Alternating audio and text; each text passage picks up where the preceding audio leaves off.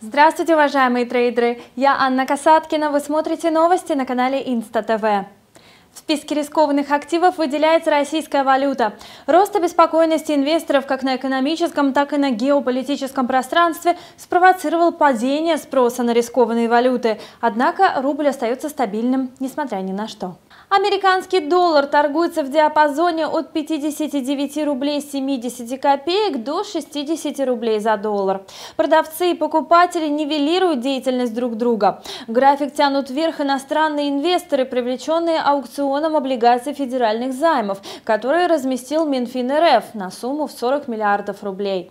Но и равнозначная сила тянет график вниз с помощью экспортеров, продающих выручку, учитывая приближение срока налоговых выплат. Дополнительной поддержкой рубля остается курс монетарной политики России.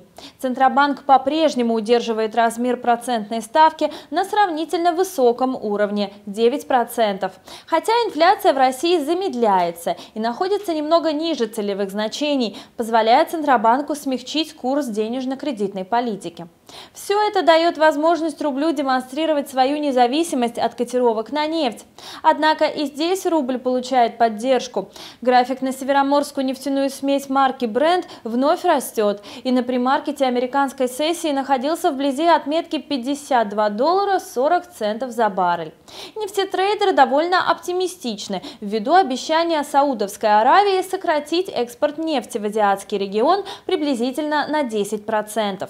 Кроме того, в ходе заседания представители группы стран ОПЕК+, заключивших соглашение о сокращении производства нефти, пообещали еще более тщательное соблюдение условий сделки.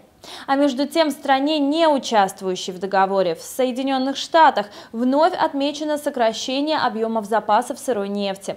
По данным Американского института нефти, за прошлую неделю в американских нефтехранилищах было отмечено сокращение запасов на 7 миллионов 800 тысяч баррелей. Сегодня трейдеры будут ждать подтверждения позитивной динамики уже от Министерства энергетики США. Ну а о том, как будут дальше развиваться события на финансовых рынках, вы узнаете из наших следующих информационных выпусков. До свидания.